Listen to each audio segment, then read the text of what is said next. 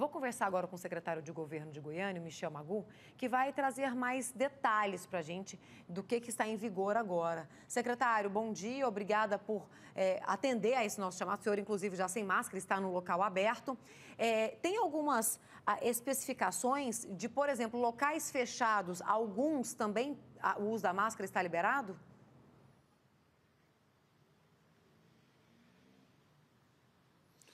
Bom dia, Manuela. Bom dia a todos os telespectadores do, Bom Dia Goiás no Ar, né? E também ao Kleber que está aqui nos acompanhando, aqui o nosso câmera. Um prazer poder falar. Com certeza as especificações são qualquer lugar fechado tem que é, continuar com máscara, inclusive também as pessoas que têm comorbidades, doenças imunológicas, é, estão com sintomas gripais, tem que continuar usando máscara. No caso, eu hoje estou num espaço aberto, em praça ou na frente da nossa prefeitura, é permitido ficar sem máscara. Claro, é opcional. Quem quiser continuar usando, pode continuar usando. Mas os dados epidemiológicos, estadísticos, nos permite hoje a flexibilização.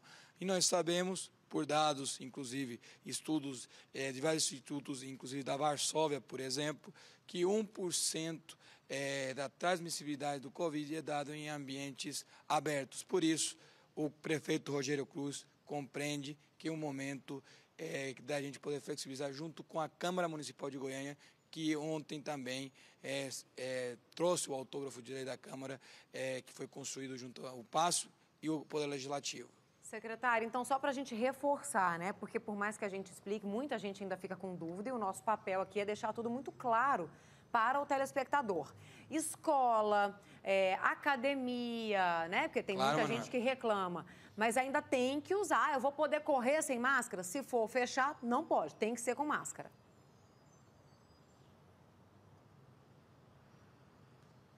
É exatamente, onde nós temos as é, quatro paredes, um ambiente fechado. Quando a gente fala fechado, pode ser bar, academia, escolas, é, dando mais exemplos, sendo mais específico. Qualquer lugar onde tenha, é, a, vamos dizer, os quatro cantos das paredes fechadas, com certeza é considerado um lugar é, fechado e aí deverá usar máscara na sua locomoção, na sua permanência, porque nós ainda continuamos em pandemia, mas estamos em caminho à normalidade e um passo importante agora para é, essa flexibilização e a gente conseguir, de fato, é, ter as nossas vidas voltando à rotina e à convivência social da melhor forma possível. Secretário, é, por exemplo, um lugar como a feira, né? É, é tem feiras que são realizadas, tem a feira, por exemplo, do CEPAL do Setor Sul, ou o SEASA, que é bem Sim. aberto e tudo, também são considerados lugares abertos. Não tem aquelas paredes com janelas, então são considerados lugares abertos. Pode ficar sem máscara, por exemplo, estádio, pode sem máscara. Exatamente. Tá. Com certeza, quem não tiver problemas imunológicos, é, quem também já foi vacinado, que conste isso também, a gente tem essa consciência e essa importância que quem pode ficar sem máscara hoje é quem já foi vacinado. Pelo decreto ainda tem essa limitação. Quem não se vacinou tem que continuar usando máscara. Exatamente, até mesmo pela própria segurança. E a questão da distância, né? Que antes era é, de dois metros, depois passou para um metro e meio. Exatamente. Não é exigido mais essa distância de um metro e meio. Não tem essa necessidade mais.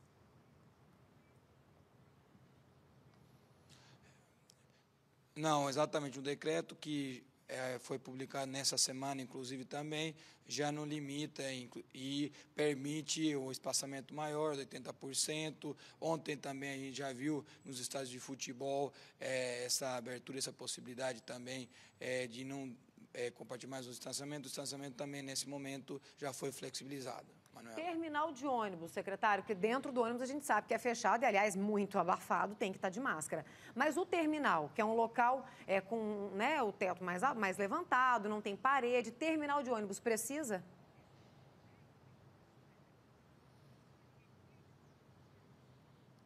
No terminal, não necessariamente, mas na subida do ônibus, com certeza, vai precisar, porque é um local totalmente fechado, onde existe a possibilidade de ter essa esse contato mais próximo. Então, no terminal, com certeza, a, a opção da pessoa não usar máscara, mas também quem se sentir mais seguro com a máscara pode continuar. Mas hoje, a partir desse decreto, é um lugar aberto que é permitido a, a, a não disponibilização da máscara. Tá bom, só para a gente finalizar, fim de semana tem muita feira Não livre uso, em Goiânia. né, Nós temos. O, o, o fone, o fone caiu, agora voltou, vamos lá. Só para a gente finalizar, temos Feira RIP começando hoje, aí nós temos várias outras feiras especiais que acontecem em Goiânia, também durante a semana, mas principalmente fim de semana. Em feira, também tudo certo, pode ficar sem.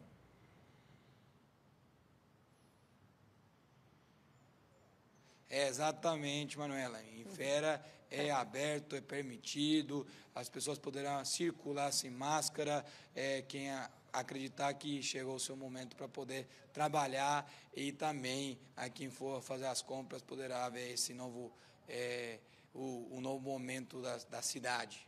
Isso aí também temos que agradecer- a todos, a comunidade goianiense, goiana, ao setor produtivo, ao poder público e à comunicação, também com a Câmara Municipal, desse trabalho em conjunto que nos permite hoje estar nesse momento de flexibilização e volta normal, sempre lembrando a sensibilidade do nosso prefeito Rogério Cruz.